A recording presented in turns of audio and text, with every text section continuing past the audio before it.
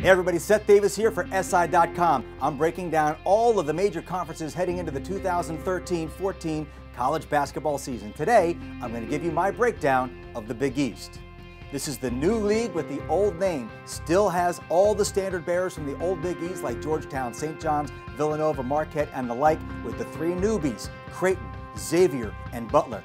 It's the first major conference that we've seen where basketball is the number one sport, and there's going to be a lot of great basketball played in the Big East this season.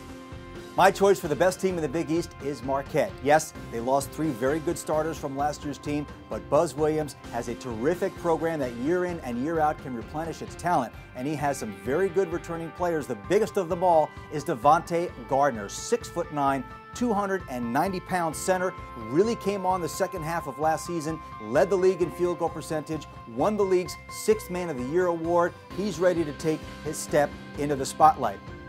The player to watch in the Big East is, of course, Doug McDermott. The Dougie from Creighton surprised everybody, including me, by deciding to come back to Creighton for his senior season. He was one of the nation's top scorers last season, sank 48% from three-point range, and he averaged nearly eight rebounds per game. McDermott is a much stronger inside player and rebounder than people give him credit for. I think he came back to play in this league and have a great senior season, and I think that all of college basketball is very fortunate that the Dougie decided to give it one more go.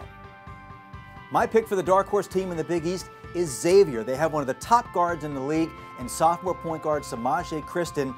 And Chris Mack has brought in a very important big piece in Matt Stainbrook. He's a six foot 10 junior who transferred in from Western Michigan, lost 50 pounds during his year out. He will give Xavier a very important presence in the front court to complement what Christon can do on the outside.